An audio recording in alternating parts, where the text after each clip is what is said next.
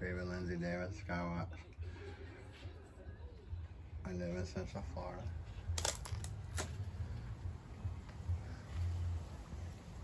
So.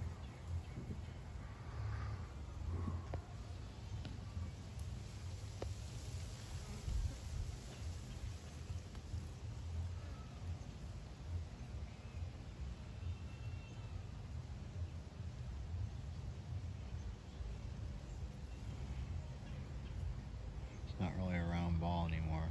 Just kind of faking it anymore. Like round ball hell, no one's even looking up. It's hard to look at the sun, you know, so you wouldn't notice that it wasn't perfectly round or yellow or right above you.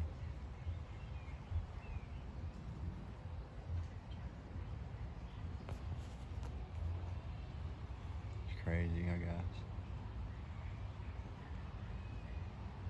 And I also think that a lot of people, their sky is just normal to them. Because if you're not over 50, the sky is normal to them. Which really does put you them and us type mentality. Because their sky is normal. You see how I'm saying? My sky is like this. But this is their sky. So that gives us breaks it down to us and them mentality. When them is everybody I've ever met, and us is like 10 people on the internet that I watch their videos that call it Planet X or Sun Simulators or Incoming Planetary Systems or Wormwood. That's what I often, terminology often use, which is biblical, revelations and such end time such, which I'm into, which doesn't make it right or wrong. It just gives me the us against them mentality in another nature, in the sense that now it's a religious thing. See, look at that. How can that's not even a round ball anymore? It makes it a religious thing now, where they think I'm some kind of zealot because I'm telling you, that is not the sun. And they'll tell me and look up that way real quick and say, well, you shouldn't be staring up at the sun. You could go blind that way, kid. I'm like, kid, hell. I'm pretty old. I don't even like to say how old I am anymore.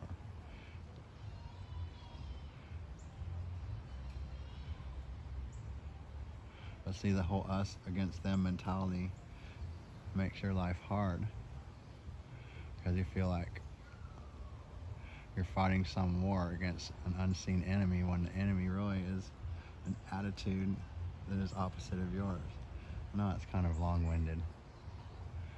So I'll just wrap it up with, dang, what's today?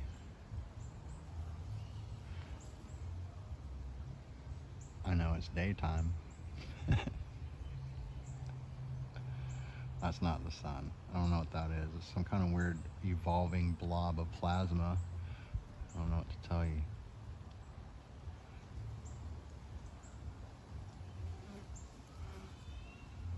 And I'd be like, oh, there's clouds in the way of it.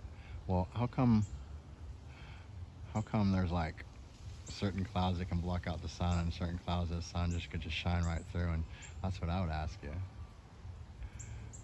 Sun's the sun. It should be able to beaming through them clouds or the clouds should be covering it up. It shouldn't be looking like a evolving ball, ball of blob. I'm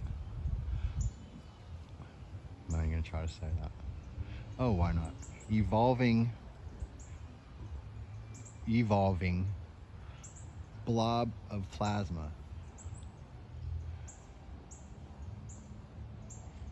No. I'm only crazy on Tuesday. And I don't think this is Tuesday. See, look, it's just moving around. I don't know what to say, but I can't, really can't stand here forever doing this. But that's tripping. See it flashing around like that and everything when I zoom out. Look, now you can't even see it. Look, it's gone. Watch. There it is. So my Zoom has got like x-ray vision. Peace.